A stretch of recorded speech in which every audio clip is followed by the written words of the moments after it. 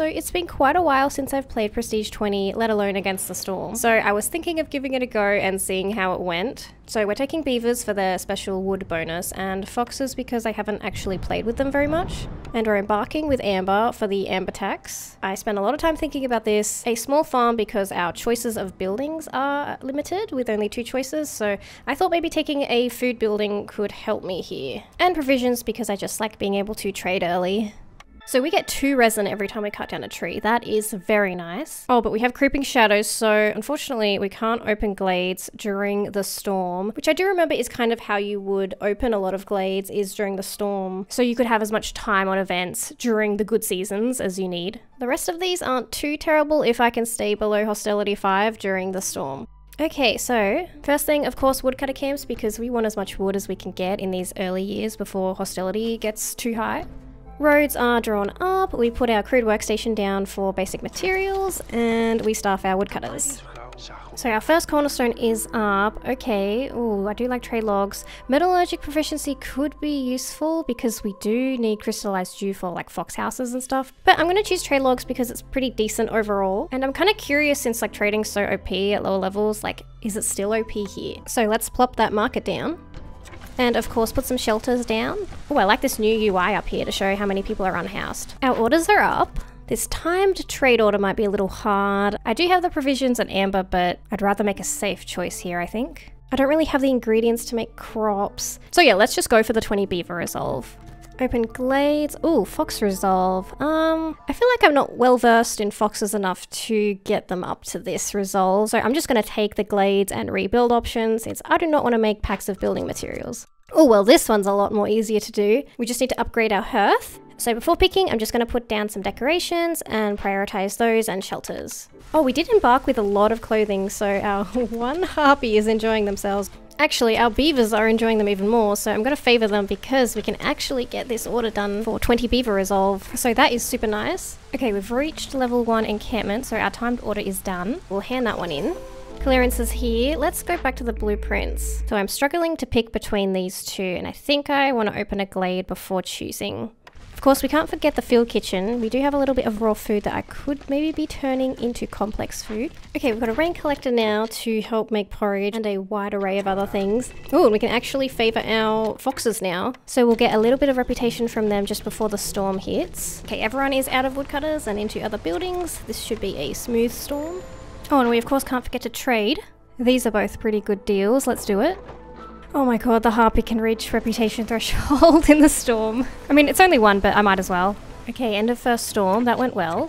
So let's do our daily preparations for drizzle. Staff people back into woodcutters and let's open up this glade. And then cornerstone time. Oh boy, this is nice. Is the game prompting me to invest in trading? Because I'm not sure how well I can actually keep up with provisions and things like that. Ancient Pact is cool, but let's try the trading and pick our next orders. Luxury goods or deliver 100 drizzle water. Well, I do have the rain collector down. I just need to put another one down, I guess. Actually, there was a drizzle geyser in the glade I'm about to open. We know that thanks to our fox species bonus. So there's that too. Jerky or level 2 neighborhoods. I don't know if I'll ever be able to get jerky, so let's pick the neighborhoods. And pick some more people. I'm just gonna pick the guys with amber. Speaking of amber, we have provisions to trade. Let's keep that up, especially now that we have protected trade cornerstone. And we're in. Hidden Trader Cemetery. I do quite like the rewards on this left side here. So we'll give over the coal and we'll just have to deal with an increase in hostility. And we'll of course use foxes to decrease the glade event timer, which is super nice. So this glade actually does have these massive meat deposits, so I am kind of thinking the trappers camp. Yeah, let's do it. Okay, these are not bad choices actually. I would like to house our foxes and we do need crystallized dew. However, the apothecary is kind of decent as well. But they are late services is the issue. But I do have a small farm, so that's going to take up more soil. Let's just wait it out for a moment. Even if it's not the most efficient, we can turn some of this meat into jerky for our harpies. I did not see you there, old Farloff. Oh my god, what the? We have so much resin. Okay, of course it doesn't give us much amber, but that is still really useful. Plot twist, I'm buying some Purging Fire because, what is it, every three years 10 cysts appear in your settlement? If I can just turn resin into Purging Fire, I think that will help save my fuel supply of wood. Uh, so we can't forget to put down the Blight Post, of course. Our foxes are super happy, so we can favour them and get a little bit of reputation again. Oh, what is this? Payments. Oh, yes, yes. So the latest update introduced this payment system to make things like the amber tax and stuff like that a little less vexing, let's say. So we have 40 amber, so we can pay this right away. Clearance is here. Let's keep up our trading. We're getting some good deals here. Okay, we're getting pretty low on food, so I'm going to put this herbalist down to get some berries and think about how I'm going to make some more complex food. How's this going? Oh, nice. So these tablets will be good to sell. We've got some good cornerstones here, the plus 3 global resolve and pottery every time we open a glade. And that's good we got that early. I'm going to call a trader so I can buy some food because the storm's coming up and uh, yeah, that's not going to be good. Let's see what she has. Okay, 8 insects so I can turn them into 10 jerky and then 20 eggs on top of that. Thoughts? Oh, and one more thing. Pottery so that I can make some pickled goods with our eggs. Because it's always better to make more food out of the raw food, but uh, I just hope they make them in time. Oh, uh-oh. Okay, so some foxes are starving. These guys just need to deliver some food. And we'll favour, so hopefully they don't leave. Okay, so these early year storms are fine with just taking our woodcutters off. And we can just staff those guys in other buildings. Oh my god, they finally got their pickled goods and they love them. okay, drizzle time means glade opening time. So I haven't handed this in yet because I do want impatience to grow because that reduces hostility, but we are down on food, so I want those roots. Oh my goodness, I haven't played enough games with foxes, so I'm just surprised that they're so happy. so let's choose our cornerstone. Oh my god, yes. I love peasant supplies. I mean, I can't even farm right now, so this is worthless. But we definitely want to trade more. So let's get some newcomers, or should I say provision bringers. You know what, kind of fitting to just go for the one with the amber. And I am, of course, keeping up with a lot of trading. So thinking about improving our settlement and our happiness, these houses are mighty expensive. So I'm just going to put another shelter down. Oh, let's see what we have in here. Oh, nice soil. What's this? Blightrot Cauldron. Okay, we definitely don't want that. Oh, I guess we're not even, I'm not even using rainwater, am I? So technically that effect probably be okay for me, but yeah, let's deal with this. For every food produced, blight rots disappear. You know, I prefer the reputation points, so... Oh, we can use our copper bars. That's very good. Yeah, let's do this. So I know I haven't touched my blueprints for ages. So I'm thinking the Forester's Hut just for the crystallized dew. And maybe I'll find another patch of soil to put the small farm. Oh boy, another hard choice. Smokehouse would help our jerky production, but the beanery is very good too. I'm gonna choose later. We have some more orders. Leisure or aesthetic decorations. Well, those decorations are pretty expensive, so maybe I could just buy leisure. If I can somehow keep up with the trade, that would be awesome. My villagers will probably be suffering, but oh well. They'll eventually get some beer for it. Okay, we have trade and rainwater here, or more rainwater. Oh my god, this is reminding me about the rainwater. I could be piping some buildings here. Um, but let's just get the trade and rainwater one since this is any water and we're of course trading. Hopefully we can keep it up. Okay, everything is staffed well enough. We do have this haunted market here that I'm thinking of getting, but we do get some negative global resolve and I kind of want to get as much reputation out of these foxes as I can. So instead, let's build the foresters so we can get some crystallized dew growing. But of course we do need to figure out our food issues. So what I'm going to do is get the beanery since that offers two foods that I can sustain if I delete this forester and put the small farm down. My thinking is I'm running a little low on food, so I really need to jumpstart that production. And then hopefully in the next glade or two, there will be soil that I will put a forester's hut down. So let's put this beanery down now. We are of course having to make do with this crude workstation, so our basic resources are a little lacking. Oh, we just got an upgrade for our hearth. Nice. So in the beanery, we'll use our green and rainwater for the porridge. We can get pottery by opening glades, and I guess I'll just scavenge for the other resource. And look here, I can actually make crystallized dew Beanery, best building, question mark. And I don't want to forget the field kitchen, so I want to keep the jerky up, so I'm going to give you a friend in the trapper's camp. Our farm is almost done. Oh, Okay, the cyst will appear next storm. Let us just make some more purging fire for that. Okay, I've been thinking about what to pipe. I do have enough to pipe three buildings. Yeah, I'm going to put it on the field kitchen because that could help our jerky production. I don't know. We need to be using rainwater anyway for our order. Oh, Zorg. Oh, wow. These guys are happy beans. That's good. Let's check out Zorg. Any trading? Nope. I have been trading a lot in the background though, don't worry.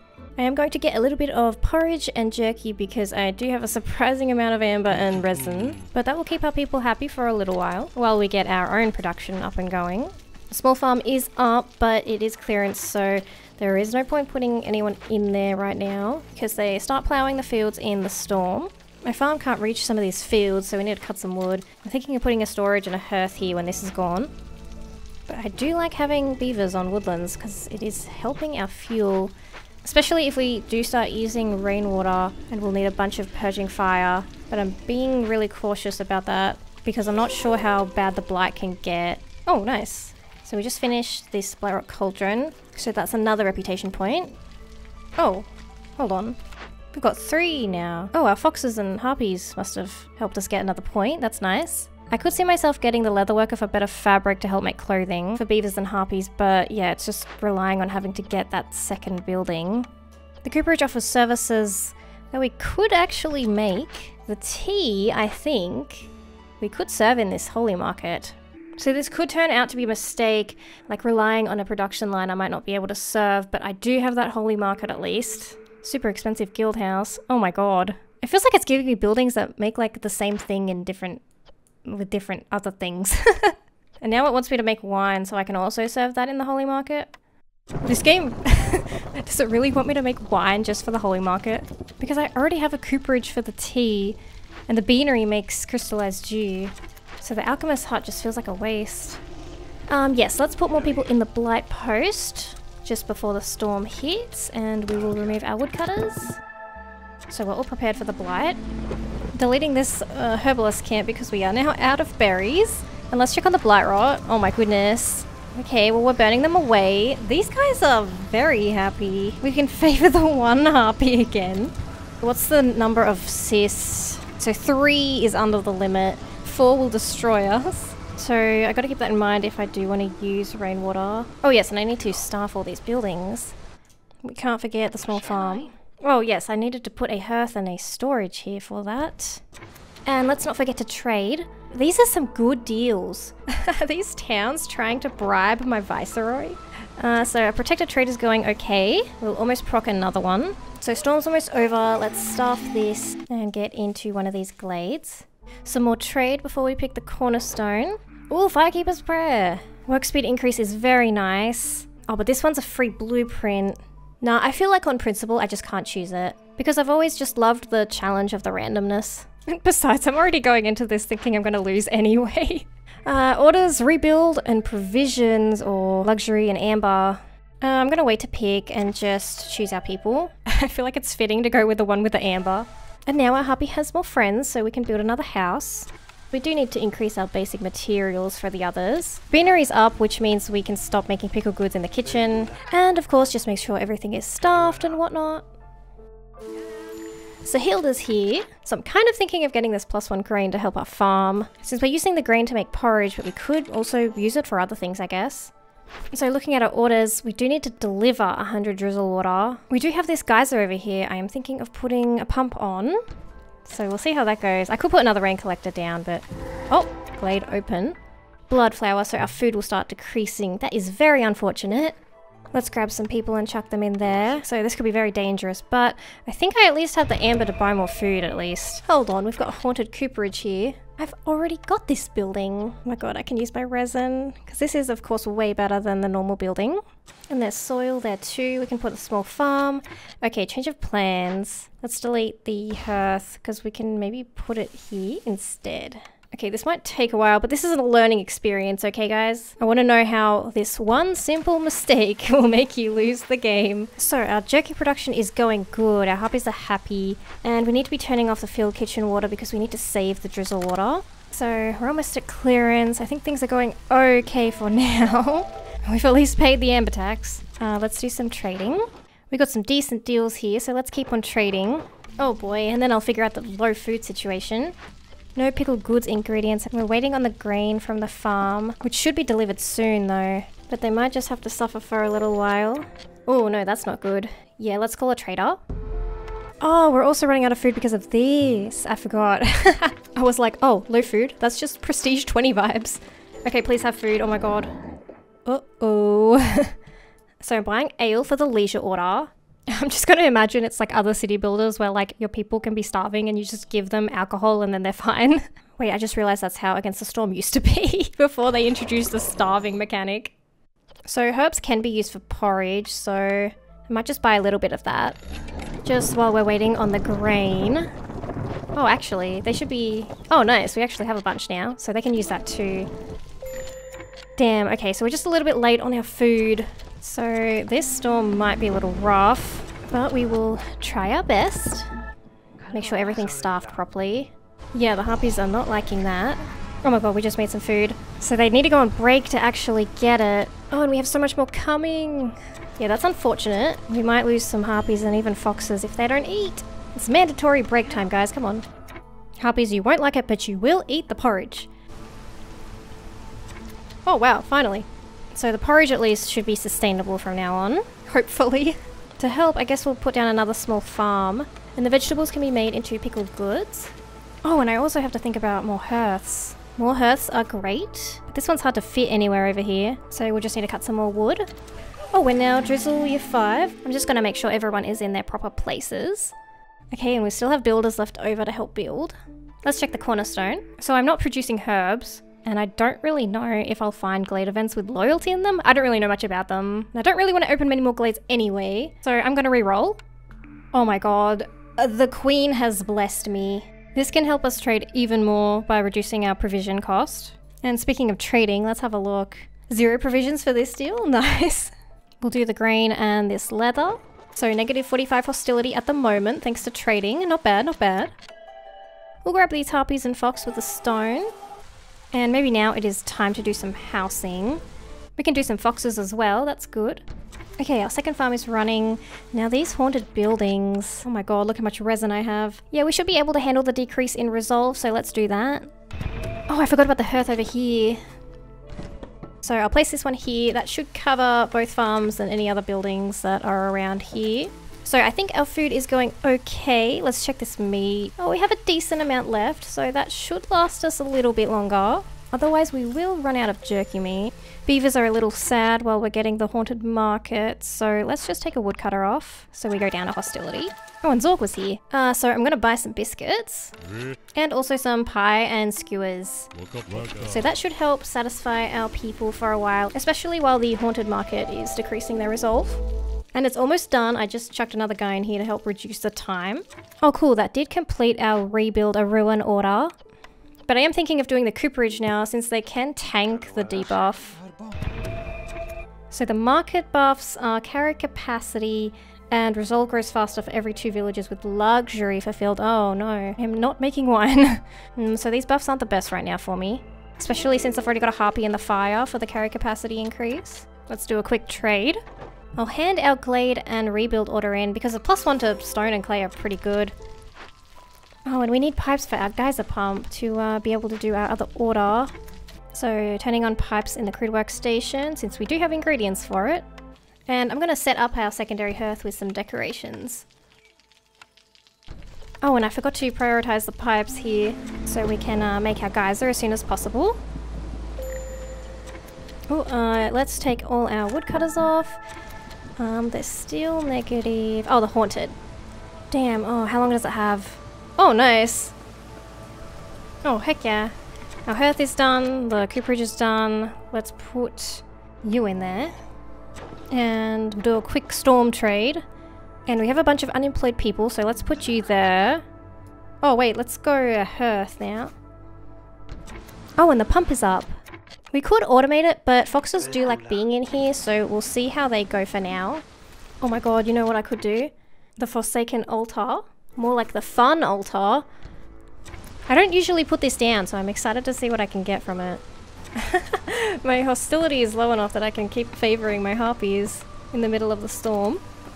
Uh, so to help with this second hearth and getting that upgraded, I'm going to pull some shelters away because the initial hearth has enough to stay level 2. And we'll just build more as necessary. Oh, and I can actually grab my newcomers during the storm. I'm thinking the foxes over here. I've got a few things they like, and they don't get affected by hostility like the other two. So speaking of things foxes like, we can make tea in the cooperage. I just remembered to turn off the drizzle water. I'm going to turn that off in the beanery as well because we need that for our order. Alright, let's uh, look at the blueprints again. I'm not liking either of those, so I'm going to re-roll. Oh, the tea doctor. This does give out tea, but it has that cool vitality. We gain resolve from them eating complex food. We only gain one though, and it's 200 food. Oof. Oh man, choices are so hard. Yeah, let's just get it. Okay, so we need soil for the plantation. Druids are not bad. I could make clothing. And oil with the green. Yeah, let's do that. So let's plop the druid's hut down here. Oh no, Trapper's Camp has no deposits nearby. So our jerky supply is going to go away. I guess I might be able to buy more. Okay, crude workstation, I need you to up your game. Let's pipe it. Hopefully the blight isn't too bad. Okay, we have made it out of that storm. So let's check our cornerstone. Wood production increased, but farming is worse. Mm, we already have beavers, and I need as much help on the farm as we can get. Glade events with empathy lower hostility by 40. I mean, I might not find any more empathy events, but like, I'll just take this for a straight for negative 40. Why not? Okay, quick 10 second management speed run, go.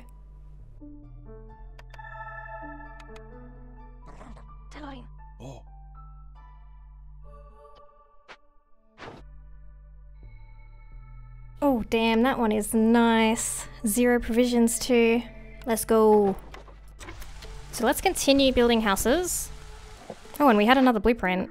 Oh, supplier for the planks. Scribe makes ale though. I do need quite a bit of planks though, so let's go to the supplier. Oh wow, when did I get so much drizzle water? I guess thanks to our geyser pump. So we'll get copper bars, coal, and some amber. And of course, a reputation point. We are using the impatience to our advantage, but we do need to keep it in check. Ooh, Dullahan. Oh, I am a sucker for the mystery boxes though. So we're low on planks, so I'm just gonna buy some. And you know what? I'll take this box as well.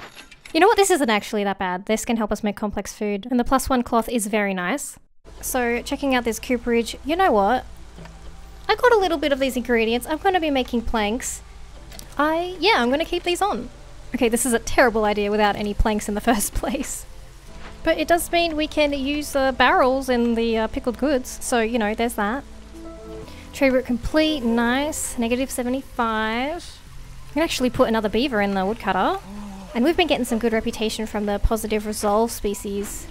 Clearances here, yep, additional blight rot cysts. Uh, let's get prepared for that. Harpy for the bonus. We luckily have so much wood that I can make a bunch of purging fire now. And I've just moved some people around, so we get level 2 on both hearths. Oh, so that lets us complete the uh, two neighborhoods. I am thinking of waiting to complete this one again.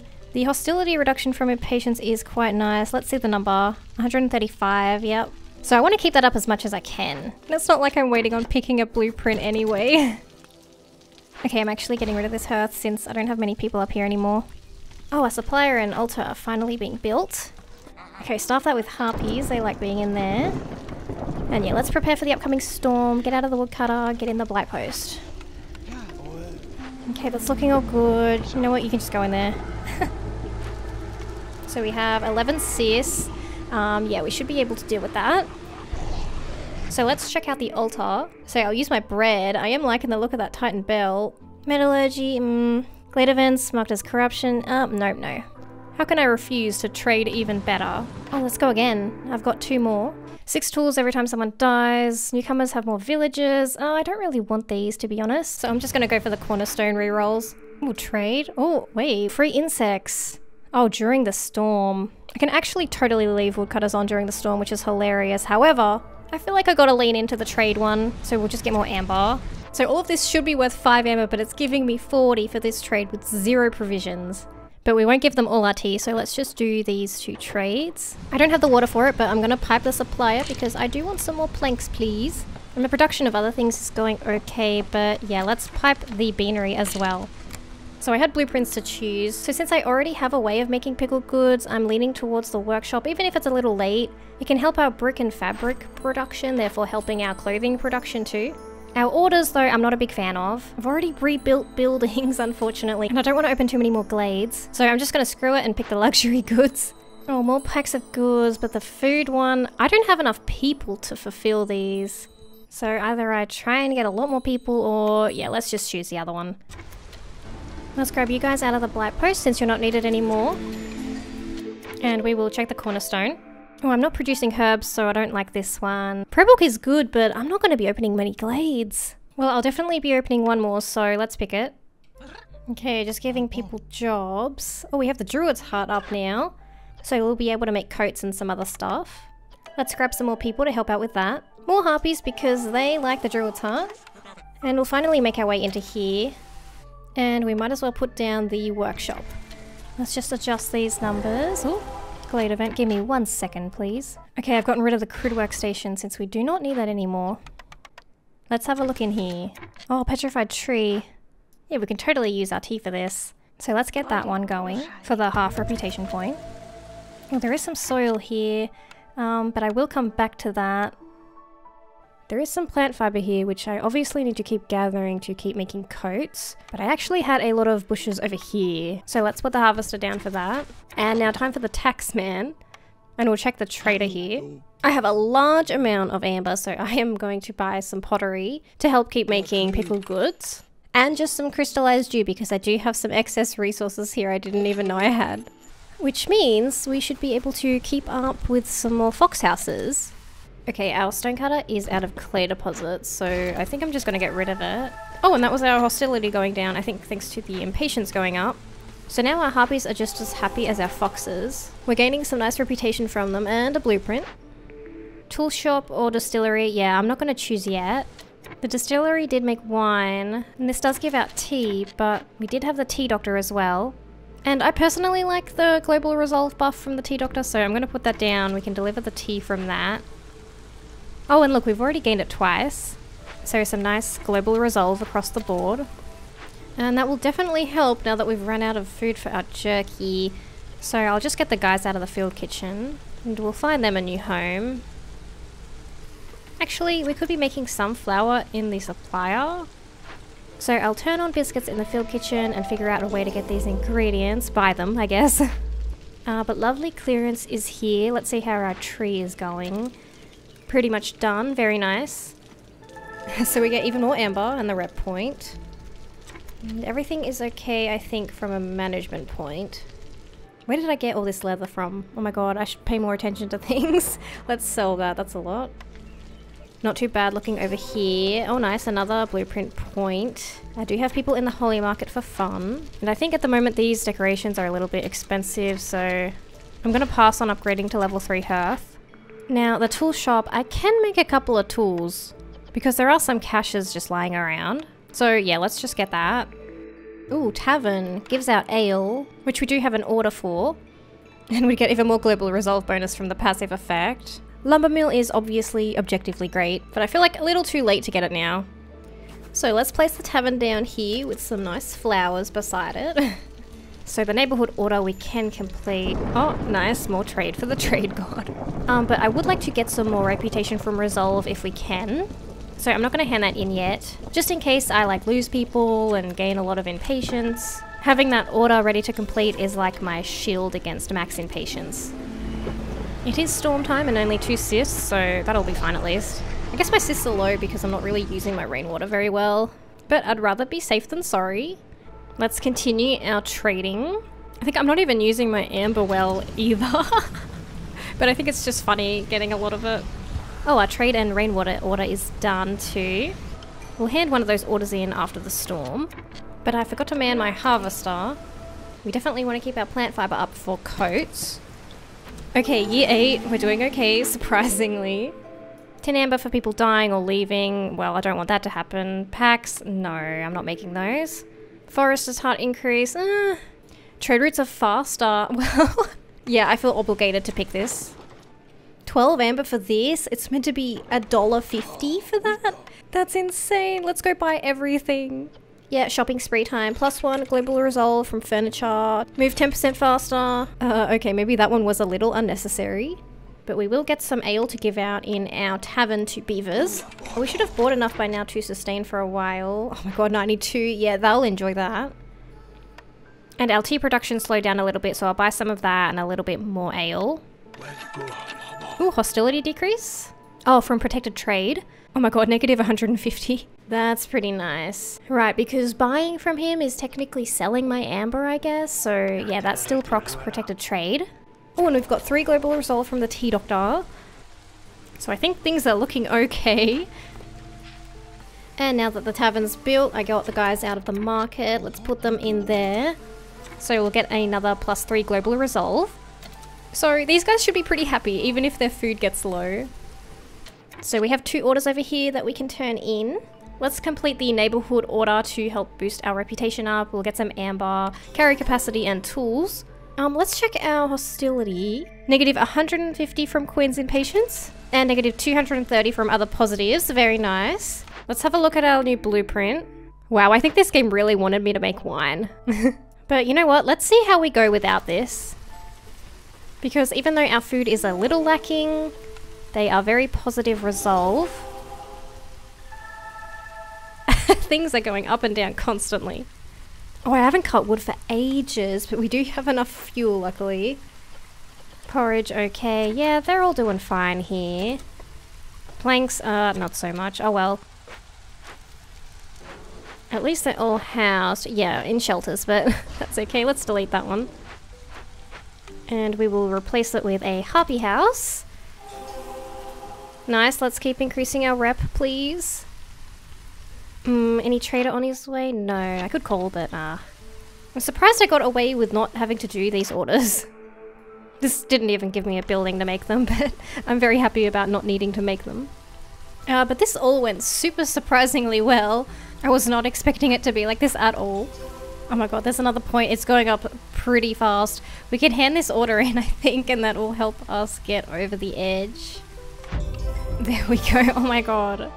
So I went into this fully expecting to lose and make this like a fun little like roast me video like where did I go wrong guys and have it be extremely obvious because I assumed I'd be making a lot of mistakes but I got very very lucky. Like the way my viceroy got bribed with all that amber, I felt like I was being bribed by this game. like it's saying, oh come on, Prestige 20 isn't that bad. And then my next P20 will be absolutely horrendous. all these cornerstones, they just lined up perfectly. I mean, I don't know, maybe they've changed the balance recently to give you more of a helping hand, who knows. So I'm glad I can still complete Prestige 20, even if I did get a lot of help. But when I do some more random challenge videos, I think I will stick with Viceroy, because I know I will not get a game as lucky as this again. Thank you all for watching!